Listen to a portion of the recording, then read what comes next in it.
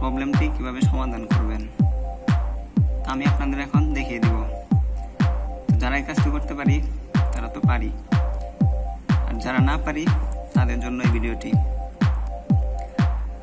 তো কাজটি সমাধান করতে হলে প্রথমে যে কাজটি করতে হবে, আপনার ল্যাপটপটি রেস্টোর রেস্টার দিতে হবে। তো রেস্টার দেওয়ার পর বুট মেনু সিলেক্ট করতে হবে। তো দেখুন, আমি রেস্টার দিয়ে নিচ্ছি।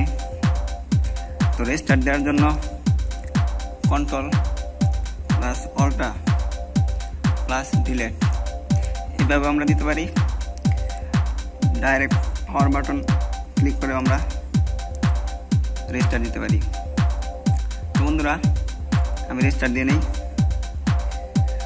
তার আগে বলে দিচ্ছি ল্যাপটপটা যেহেতু এসআর তো এই ল্যাপটপটার বুট মেনু এফ টু তো আপনারা যে ল্যাপটপে কাজটি করবেন, তো বুট মেনু সিলেক্ট করে নেবেন।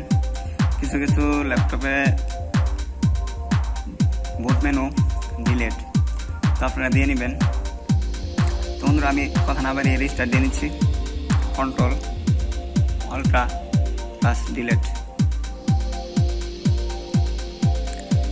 তারপর F two push F two press F two okay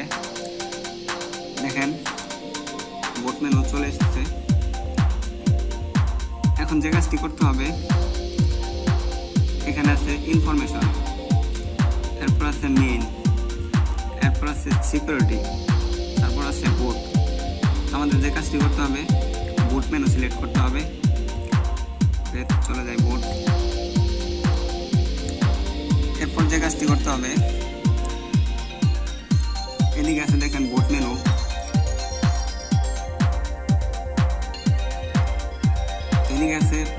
mode আমরা বুট মোডটা সিলেক্ট করে নিব।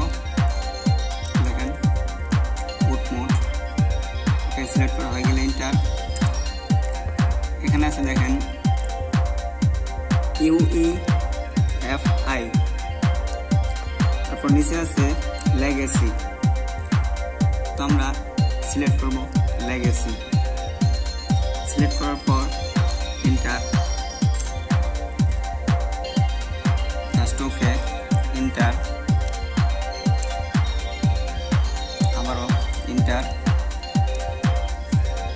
বন্ধুরা সেটিং মোটামুটি শেষ।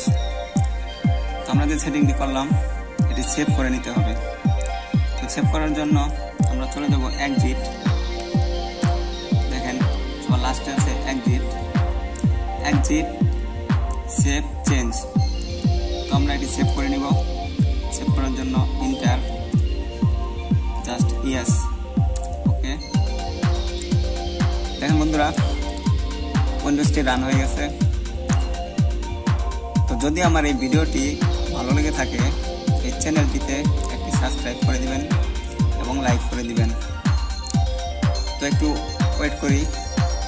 দেখেন আমার উইন্ডোজটি রান হতে যাচ্ছে।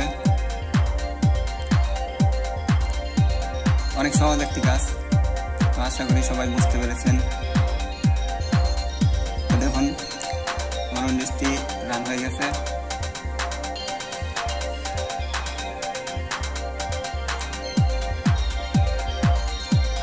আমি চেষ্টা করেছি অনেক সহজভাবে কাজটি বোঝানোর জন্য। আশা করি সবাই বুঝতে পেরেছেন।